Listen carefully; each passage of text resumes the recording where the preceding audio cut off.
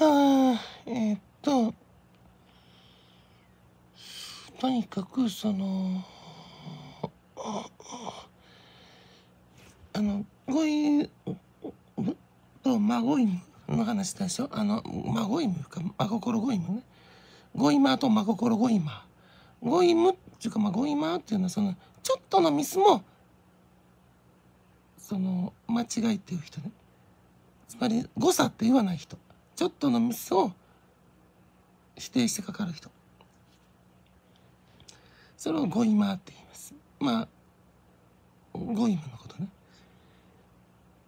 ゴイムっていうのはまあ、まあ、誤りを意味禁ずるっていうこと。でそういう人たちのことをゴイマーっていうわけ。でまたそういう軍団のことをゴグっていうね。そういう集団のこと。で孫の方は言ったらその真心ゴイム。それはまあまあ、ゴイム業務についてるゴイマーたちに対してその接接待というかね。その彼らのトリートメントをする業務のことを真心ゴイム。でしょ？でゴイマーたちが真心ゴイマーたちにいろいろダメ出しするでしょ？結構。でじゃあむしろその真心ゴイマーたちはゴイマーたちに対して、まあ、健康上の話とかあるいは流流行とかセンスの話とかするわけでしょ。例えばあるいは交際術とかね。この2つの類型がその対応しすぎて過剰対応しすぎる過剰適応者、ね、この2つの類型が世界を滅ぼすと言われてる。でつまり真心ゴイマーの方もちょっとのミスも誤差って呼ばへん世界。そういうサービス業あるでしょ。真心ゴイマーサービス業の中でもうちょっとのミスも誤差とは言わへんようなまるで工場の品質管理みたいな。しかもそのどんな工場ってちょっとでもミスったら大爆発起こしたりちょっとでもミスったら人死んだりするような薬。とか。そのレベルをそうじゃないレベルにも適用せむとするなんか謎の人たちそれをゴイマーっていうだからもちろんその絶対安全な品質じゃないと困りますよっていう業務の人は例えば原発とか医薬品とかあっちはゴイマーじゃないんですよ当たり前やんか。ね。少しのミスも許されん世界のことじゃないね。そそうじゃないのに誤差あってもええ業務やのにあるいは誤差あってもええ業界やのに少しの誤差も許さない。その奇妙さをゴイムって言ってたわけ。つまり誤差を禁じる考え方の間違った適用。それはゴイムって言ってた。でゴイムとゴイマがおる。あそうそうゴイゴイムはゴイマで真心ゴイムは真心ゴイマ真心ゴイマの集団のことを真心じゃあ名古屋とかめっちゃ多いんちゃう？どうやろうね。東京めっちゃ多いんちゃ大阪もねその3としてやばそうやね。多そうやね。あれ豊田市とかも多そうでしょ。でそういった人たちがもう苦しいわけ。それそれおかしいやん。まあ自動車はねそれは安全管理大事です。品質管理大事ですけどね。そうじゃない部分についてもそれを共有してたら。だってあい他の業務ですっごく慎重に安全性が絶対完全じゃないとあかんからあいつら気の毒やなおいお前らもあのレベルぐらいやれ。おかしいでしょこんな命令。でじゃあその例えばその今昨今話題となってる半グレとか煽り運転。あれもね少しの誤差も許さへん連中やねだから煽り運転して切れるんやろ。んであの何て がガニ股路上煽り警部。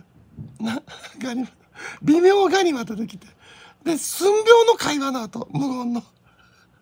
あいつはどついたやろあれはだからプログラムよね明らかに。寸秒の声も許されへんかったんじゃん頭の中で聞こえてたんじゃん。カチッカチッカチッ。あとあと何秒何秒間とかね。それは0.2秒とかね。はいはいってやっとったんじゃんあいつ。それは何かってゲームゴイマーっていう あの人に指令出す精霊は精霊やと思うけどね。ナンセンスって気使うのかな？でもそうじゃないと次元の扉開かないからとか。帰りたいじゃんあっちに行って。え体ごと？それ無理よって。自我移転だけだからって。えー、どうしても体も逃げたいのって。えー、困ったな。じゃあこれぐらいやってよねとかそんなやろ。で、俺にはそうだと体。いや、次元が変わったんだって。だから俺は犯罪を犯してないって。いや、犯しましたって。ええー、体がどっかな消えるんやったら、むしろ車がどっか消える方がもっとあり得るで。でしょ？車はまだあのに自分が消えたとこおかしいやん。車が消えて自分も消えてるんやったけど。車のが消えやすいもん車あの人よりも。絶対そうやろ？あれあれあの後あれ。バックトゥーザフューチャー走っとんねタイムマシンできるかな？タイムスリップ目指して。その道走っとんねそれやったらねそのあ言ったか。ん古谷先生怒られるわ。核融合研究所？逆に捕まるやんか。核融合研究所から逃げなあかんのに。タイムスリップしたかったら。原発の近くがなあかんねもし。タイム今今この時点でタイムスリップどうしてもしたい方はこれまた怒られるよ稲田先生どうしたらやろうな。でもあの理論上はそういうことです。ね。じゃあゲームゴイマーたちっていうのはねもう絶対そのあるアイテムとかあるそのエンディングが欲しかったらそれが許さんわけでしょ？それゴイムやんか。何のためゲームやってんの？少しの誤差も許さへんわけ。アイテムの種類とか。あるいはエンディング？プロセスもやろ？うわあの街であの女の子に会ったのになってまた会えるかなって。会えなかった。あそうか。同じ時間に行けばいいんだとかなって。んだろ色色症ってじゃあいっぺんリセットしてまた一からやって同じ時間に待ってて。も来ねえなとか。大体は来るんかもしれんけど。最近のゲームもう来へんのんちゃう？MMO やったら約束しないといけないけどその約束は禁止されていますとか書いてんの。なんとかして約束して会わなければそうだって。この子のプレイヤーにが誰かわ分かったらそれと思わしき一人とか言って。でなんか別の SNS ゲームじゃなくて。MMO もなんかゲーム型 SNS とかしてるんちゃうの？本当は。なスマホゲームとか。だけどね SNS の方でなんとかあのあのキャラコあんただよね？とか電話ちゃうわ。あんただよね？って。えーって。バレオって。バレオなんだよ俺って。キャラコバレオって。あのあのシーンだこうしてくれよって「うん分かった」とか言って。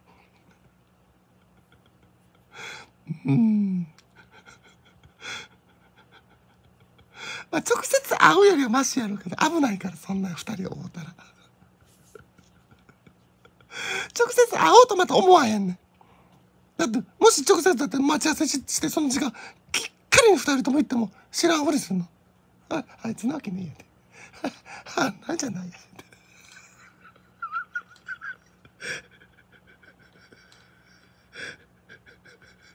ちょっとの誤差も許さへんねんな。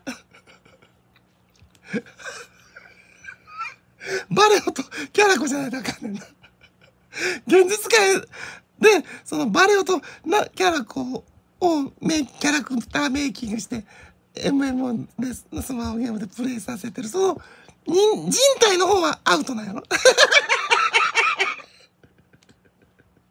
げえな、ゲームゴイは。ああ。すげえ、ゲーマーもそこまで進化するのか。むしろ大会やな、そこまでのこだわりは。これが嫌とか言ってたら植物なんだ、ほんまに。な、ゴブリン多くどころちゃうで。トロールどころちゃうで。あんまりの誤差許さんかったら絶対動物にはならへんって。え、揺れるやんって。いや、さ、木が、葉っぱが。揺らしてもうてんねん風とかに。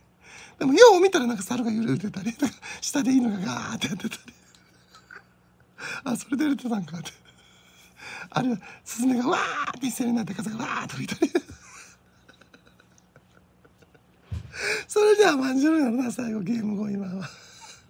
少しの誤差も許さんねだからゴグマゴグにさらにね新しい類型が今回の次元確実に加わったよね。だからそれはえっ、ー、とゲゲム。っ てそれだけ覚えてるやろ？ジュゲムジュゲム。あジュゲムジュゲム5行のすり減ってあれ成婚者やねんって。実は。ああやろ。あ風が吹いたら桶が儲かる式のなんか自分が得す。まあ風が吹いたら桶が儲かるっちゅうね遺伝子もあるでしょうけど。中元の次元は5行のするけども一本の遺伝子の説明やね。でも妖怪のそうやったら尻滅るでしょ。いろんな局面で得することばっかり書いてるやんか。いや得というかこれはあのあのありがたいことでとか一緒一緒でそのダークサイド認めてへんねやろ。まあ5行のすり切れって認めてんだけどそれやったらまああのえっ、ー、と風が吹いたら桶が儲かるしな。あれも5行の説明でしょ。だからまあそれはいいとしてだけどまあ自分に都合のいい遺伝情報だけをねつなぎ合わせたキメラ遺伝子。それがねその技術ができる時代ってまだまだやねん。もうもうもうなってるか知らんけど。ね。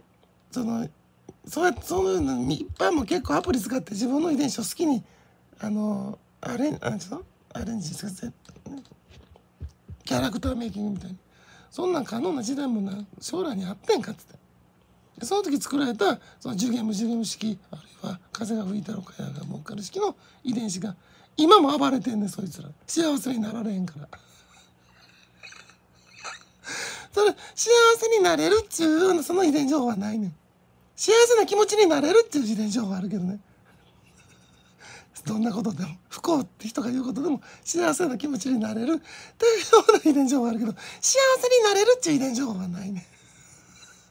じゃあそのどんなひどい目にあった幸せな気分になれるっていうその遺伝情報をくっつけようとくっつけても本人はおもろなかったんで。やっぱりいらんわでその切り離して。もう絶対こだわりこれとこれが起きたらあかんないと思う。なんかねおみくじじゃないけどなんちゅうの？あお便りとか神社とかやねおお願い。願文書いてなこれ以外の結果嫌言うて。あれスピーチャーの方のなそのなんか天使へのお願いこんな風に言ってさあとこれが嫌なんだとかって。自分で一切努力せずみたいな。あるいはもちろんその契約ってねあなるほどこうこれが嫌なのか。じゃあこれしか起きないようなあのー、話にしてやるってその話に耐えられへんねしんどすぎて無理です。天使様無理です。これしか嫌って言ってましたけどこれしか絶対に起きないような人生でこんなにしんどいんです。ねまさにしまるで試練です。ってあそれを試練って感じるのかね。あこれを試練って呼んでたんだよね。そういえばそうだったね君らは。って言われて。しまった。だって寸分たがず休みなことが常に幸せが訪れるけど しょっちゅうしょっちゅう大変になったりそれうち今回も書いたでなんか知らんけど。なんか自我が書いたんやでもそんなんな絶対。そのその自我と逃げよったけど早々にうわいやしんどしんどいうわでその後めっちゃ穏やかな日があって。楽やったけどまたそいつ戻ってきたんやろ。しんどいわそのスズメジが人の体でそんなん書くなよ甘で書いたら叶う言うてね。でそれを一度体験したいとか言って。もう3分ぐらい逃げ出しよってんそいつ。でもうそろそろ楽になったんかな思ってまた来よんそんな血が成長するわけないやろが。まさにゲーム恋回しがな。ほんでそのええことばっかり都合のいいことばっかり並べた遺伝子はその反対側の出来事ばっかりとその出会わないとバランス取れへんねんで。似たような遺伝情報と出会いたいんか。競争しようね。私幸せになられへん。競争が幸せっていう遺伝子もあるけどなもちろん。何々が幸せ。何々が幸せっていうそういう意味がね一つ一つの間の審査人さんは。どういったことが幸せなんですかっていうのが決められてあるから。その組み合わせで文法ができていくねちょっと喋りすぎたな。だけどそのひどいことがあっても幸せに感じる。なんか奇妙なのお二人んちそんなそんな。そう生まれてきた遺伝情報もあってね。そういう後の審査人さんが。まあまあ三人さんにはそそういう文法もある。ねちょっと喋りすぎたね。